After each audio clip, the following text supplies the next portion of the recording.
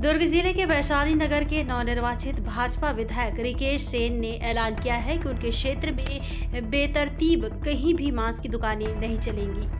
उन्होंने सभी दुकानदारों को एक स्थान पर गुमटी अलॉट करने की बात कही। उन्होंने खुले में अवैध रूप से चल रही सभी दुकानों को तोड़ने के भी निर्देश दिए हैं। विधायक के निर्देश पर भिलाई नगर निगम का बुलडोजर गुरुवार शाम 18 नंबर रोड स्थित सुभाष चौक पर पहुँचा और यहाँ संचालित 23 मांस मटन की दुकानों को तोड़कर धराशायी कर दिया।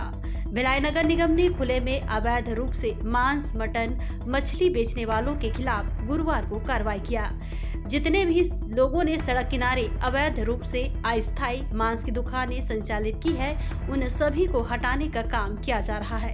इसी कड़ी में निगम का तोड़ू जस्ता जुनवानी कोहका माल चौक से कार्रवाई करते हुए कैंप एक सुभाष चौक पर पहुँचा।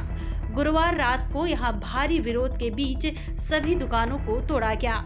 मांस मटन और सड़क किनारे अन्य व्यापार करने वाले सुभाष चौक के व्यापारियों के साथ निगम सभागार में अपर आयुक्त अशोक द्विवेदी, सीएसपी आशीष कुमार बंछोर छावनी थाना टीआई सोनम ग्वाला की मौजूदगी में बैठक की गई। इसमें व्यापारियों ने अपना पक्ष रखते हुए कहा कि वे कैंप एक के सुभाष चौक पर लंबे समय से व्यापार कर रहे हैं। उन्होंने अपने व्यापार के लिए कोई स्थान दी जाए।